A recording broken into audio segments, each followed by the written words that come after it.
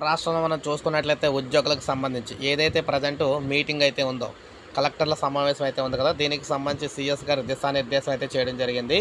ఉద్యోగులందరికీ సంబంధించి మనం చూసుకుంటే రానున్న వంద రోజుల కార్యాచరణపై ప్రత్యేక దృష్టి పెట్టేందుకు కలెక్టర్లకు దిశానిర్దేశం చేసేందుకు ప్రజెంటేషన్ ఉండాలని కార్యదర్శులకు సీఎస్ నీరబ్ కుమార్ గారు అయితే ప్రసాద్ గారు స్పష్టం చేశారు.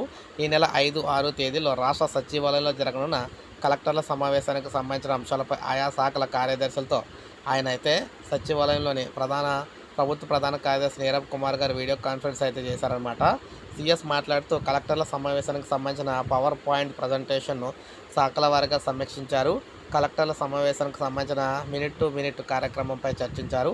ఐదవ తేదీ ఉదయం పదకొండు పది గంటల నుంచి పదకొండు గంటల మధ్య సీఎం డిప్యూటీ సీఎం తదితరుల ప్రభుత్వ ఉపన్యాసాలు ఉంటాయని తదుపరి పలు అంశాలపై కూడా సమీక్ష ఉంటుందని చెప్పారు.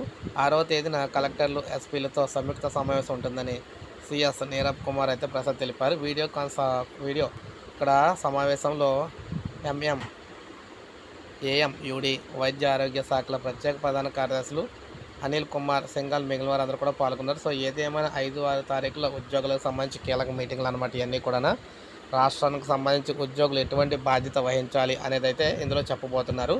సో ఇది మనకు అప్డేట్ ఒక లైక్ చేయండి సబ్స్క్రైబ్ చేసుకోవచ్చు. మన ఛానల్ సబ్స్క్రైబ్ చేసుకుని